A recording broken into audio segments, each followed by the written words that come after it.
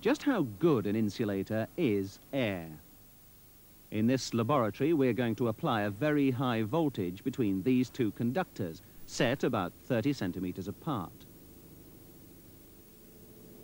We're measuring the voltage in kilovolts.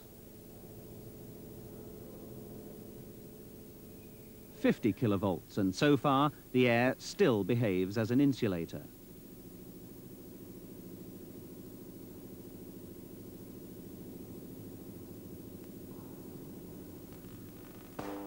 Now the air's become a conductor, the voltage about 180 kilovolts. So, air only insulates under a certain set of conditions. Let's repeat the experiment, but this time we'll put a rectangular strip of perspex in the gap.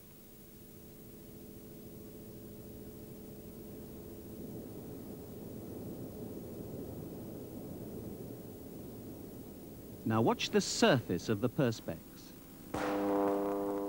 That was where the air first became conducting, and it happened at 150 kilovolts, lower than before. Because of this, high voltage insulators, like the one we're making here, are usually shaped in a special way. The shape is designed to increase the distance over the surface of the insulator from one end to the other. This reduces the risk of air in contact with the insulator from becoming conducting. On overhead transmission lines, a whole chain of specially shaped insulators are joined together, giving a zigzag surface path.